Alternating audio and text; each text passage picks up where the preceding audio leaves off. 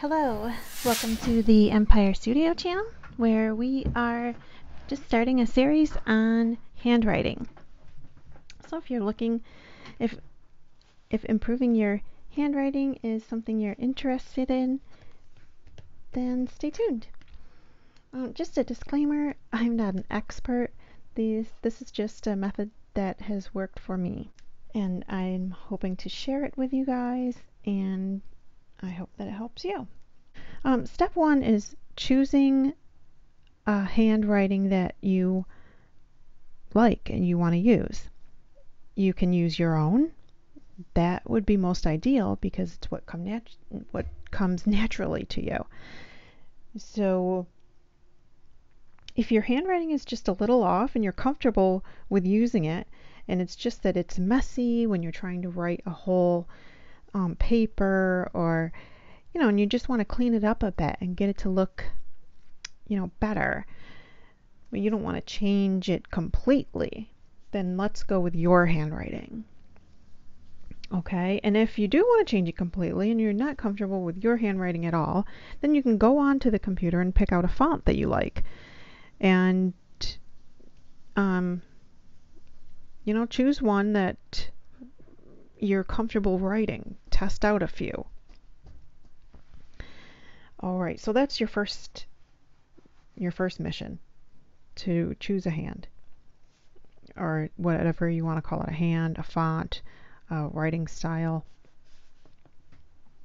Once you've got that, the next thing you need to do is create a reference guide or a key where you've got your all your letters written out and you're going to write them out a couple different ways. Now, at first, this might seem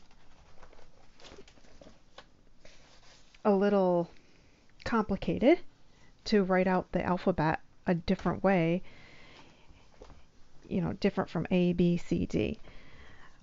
But once you're referring to this guide that you make, you'll see that it makes sense to group your letters in a different way. And you'll see why as we go along. And you won't have to do this alone. I'm going to create a, a series of of episodes where I'll go through these steps with you. Okay, so that's step number two. Create a guide.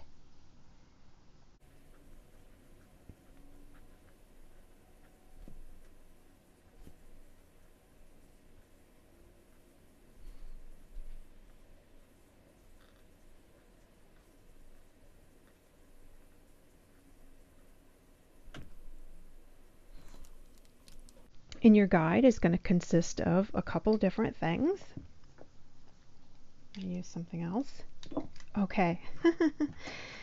now, I know we don't use anything but fountain pens over here for the most part, but I do buy other pens sometimes, and I've got to tell you, I wish these, this ink came in a fountain pen ink. It is, these inks are the prettiest inks I have ever seen. Um, this one's called, it's by um, Pentel, I think. Oh, shoot. But they're called hybrid dual metallics. And the, the ink is so pretty. And I'm going to write with this pen. Okay. So your first element, the first element of your guide, this is an important part, so we're going to spend a little time right here. Your guide. Look at that. Okay. Guide is write out your alphabet. And oh, that's another thing. We're just going to start with lowercase.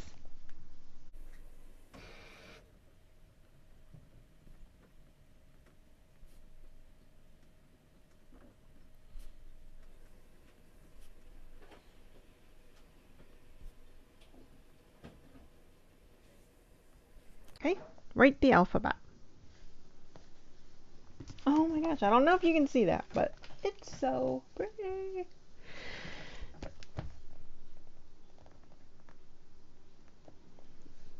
Then you're going to take your letters and put like with like.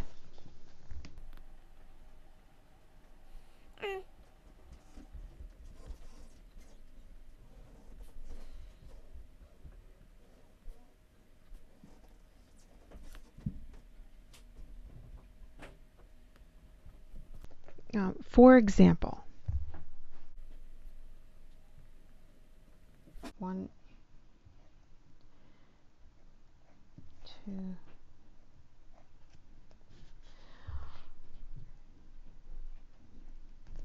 A has got that O. D has it. G has it. O has it. B and F, they all have this. And K and L. They're like samey same. And you know, we'll do another example. I and J and T is just like the I but taller with no dot on it. And U is the I twice. And W is the I a few times. Okay? And the reason why you're doing that is because all the letters are are a few shapes. There are 26 letters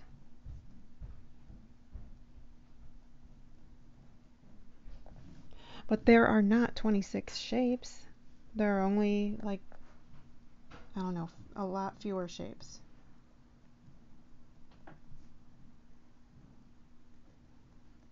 Maybe nine or so.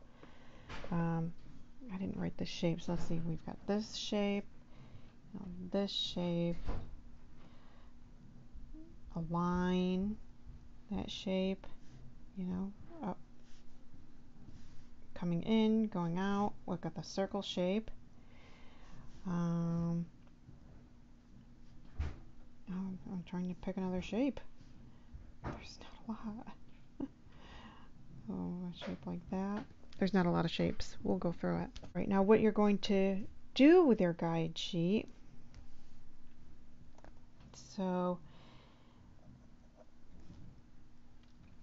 either make a copy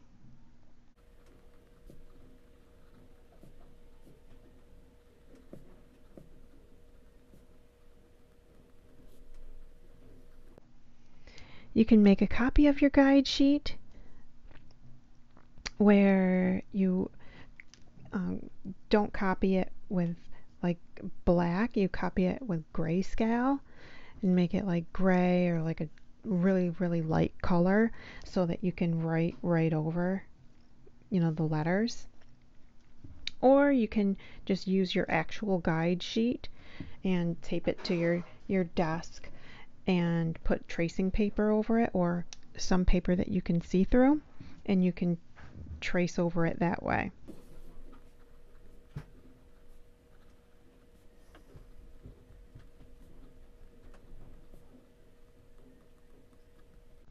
So this is going to have your alphabet on it two times in different ways.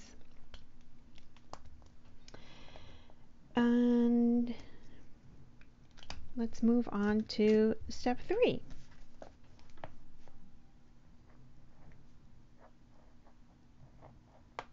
Oh my gosh, I keep doing that.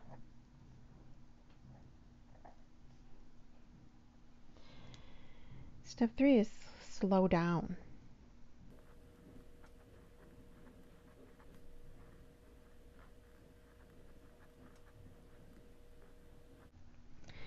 When you see uh, YouTube videos and stuff like that, and it looks like they're going kind of fast, most likely it's been sped up.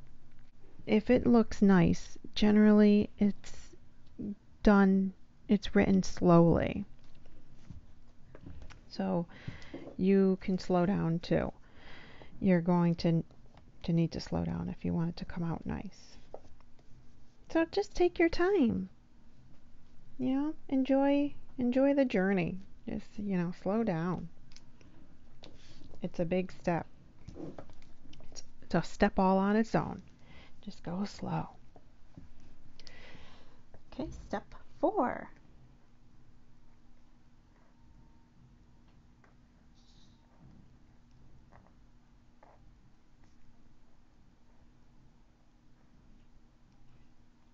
Oh, yes, this one.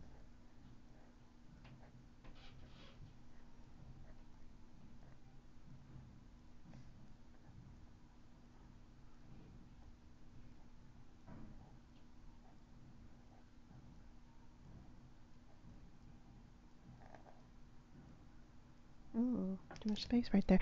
Write daily. You gotta practice every day. Just for 10 minutes a day. That'll do it. At least 10 minutes a day. If you can dedicate a little bit more time to it, that's good too. But you're you're going to want to set aside a little bit of time. So, and once a week for an for 70 minutes doesn't make up for 10 minutes on a daily basis. So it, if you can, I mean, I know we're all busy, so it's really, it can be really difficult to do that. So if you miss a day here and there, it's okay. But the goal is to get a little bit in every day. I know sometimes that's just not possible.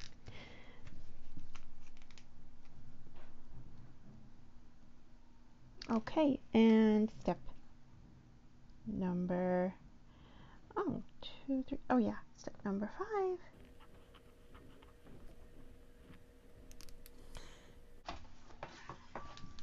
Yeah, this one, this is a big one. So this is consistency.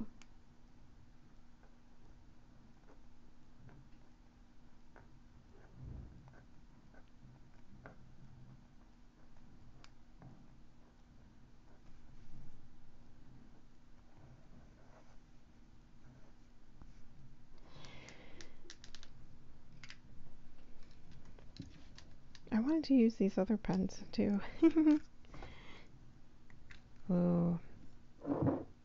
This is a Mabie Todd in here. Oh, uh, this is a Mabie Todd I've been using too with the purple. Um, it's Scribble Purple. And it's a Mabie Todd Blackbird I've been using. And this one here is a Mabie Todd. Um, the, the nib came in a dip pen. And I put it in a fountain pen. Just a random fountain pen. It's called Avon. So I guess you would call this a Frankenstein pen. And the ink in here is Majestic Blue. So consistency. And what that means is keeping on, keeping consistent with your spacing. And this is difficult.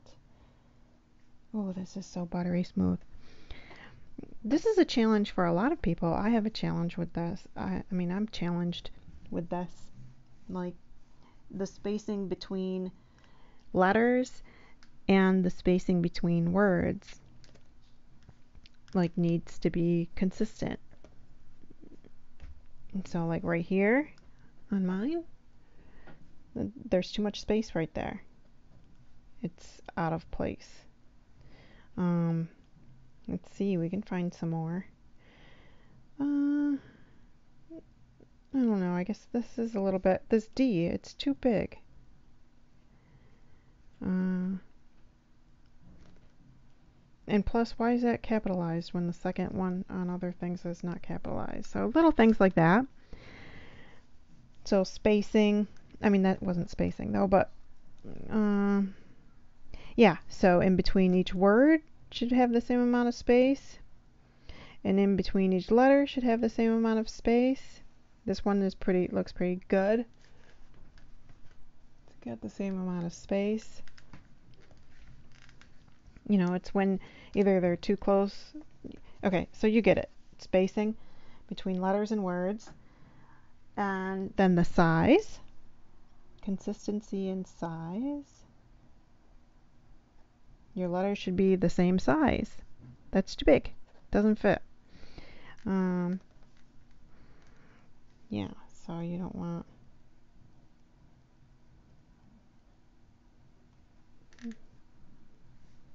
that's not going to look good. And slant, consistency in the slant of your letters. So you don't want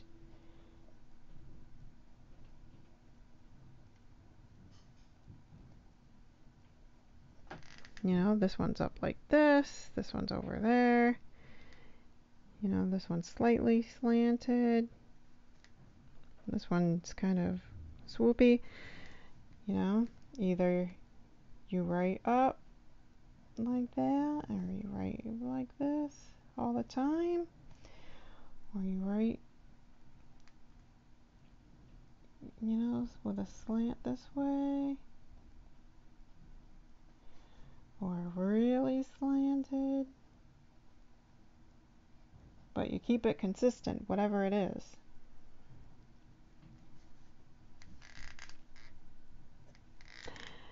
And form.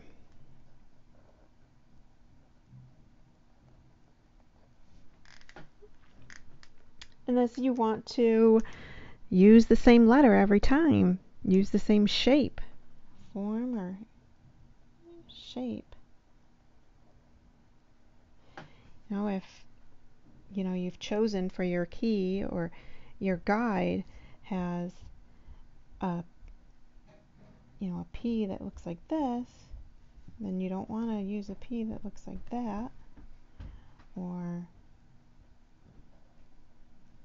like that, you have to use that one all the time. This is um, the formula for one to get one hand down. Then once you get that down, you can go ahead and do another hand and work on that. You can have different different hands that you can use. You don't always have to use the same handwriting. Okay, so step six is,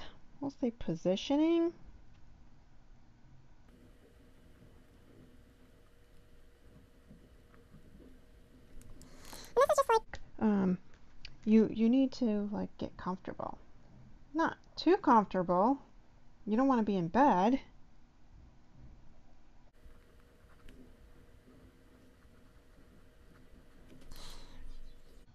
but you want your feet on the floor.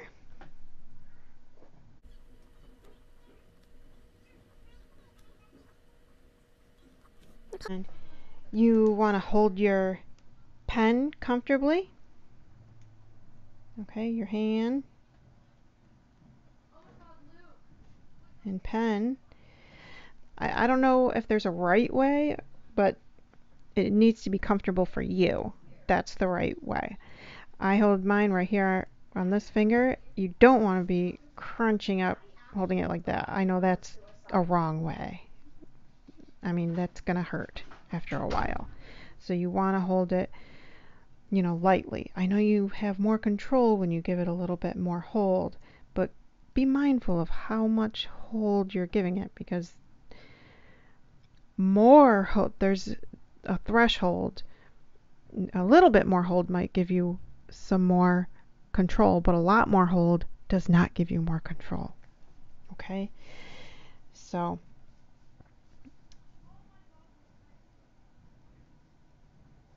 and that's like a little tiny bit of fold. That's like just the weight of the pen. And that's more. All right, and um, yeah, so I try to hold it as loose as I can and I remind myself because that's tough. Uh, okay. And then aim for our movements. That's another thing. This is kind of goes with this, but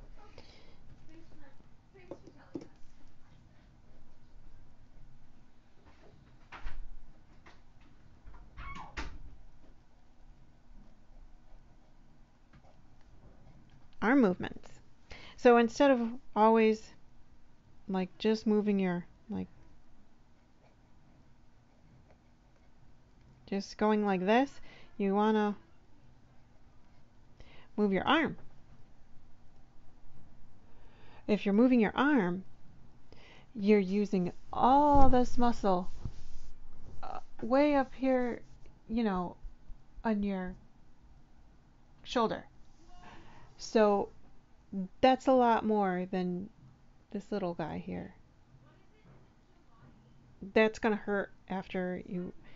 My hand would probably hurt after writing just this. But I can write a lot if I'm using my whole arm. Okay, so you want to get in the habit of using your whole arm. And there is a way to do that. And that is something that you're going to want to include in your practice. Okay, so you're writing daily. You don't want to be writing daily and just writing for the sake of it. You want to write daily and practice.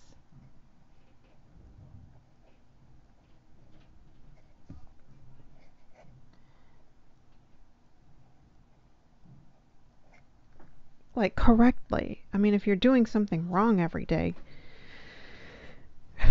that's kind of not going to help too much. So there's a few things you can just start out with. Um, one, there are drills. Okay. So before you even start, just to get that, um, to let your arm know and your shoulder know, hey, I want you to work here. And let your hand know, I want you to just hold the pen. That's your job. Go like this. Make these these this is a an excellent drill to do. And the other practice that I'll give you if you're doing this before we, um, or if this is the only episode you watch. Um, another drill to do is to do the shapes. Okay, get practice your shapes first. Okay, and then practice your letters. because the letters are just, you know, the shapes over and over again. So you practice your shapes. I hope I'm not losing people. Shapes, and then three, go ahead and use that, you, you know, you're going to use that copy sheet, copy over your letters. You can't go wrong with that, okay?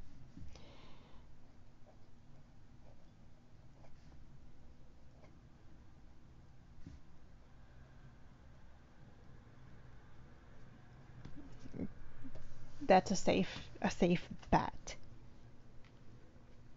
Okay. All right, and that about covers it for now. Okay. Oh, wait, there's one more thing about your positioning, your pa- your paper. So, your paper I mean, I'm sitting like this right now. Like this is uh, forward forward for me. So my paper, if it was right, look at that color. Isn't that the prettiest? That's the prettiest color. I wish that came in a fountain pen ink. Right? I just love it. Okay. So this would be um, straight on for me, and I can't. Write this is really I would write like this.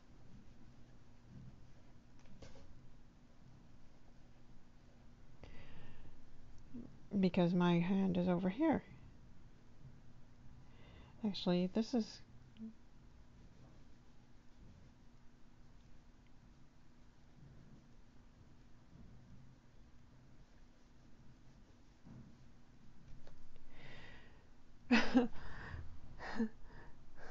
So in order for me to get in order for me to get comfortable, I need to turn it all the way over like this. There. So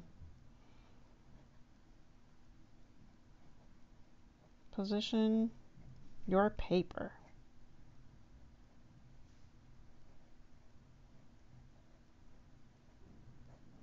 Okay. All right, now that's about it for now. um, thank you for joining. I hope this helps. And this isn't going to be the final episode.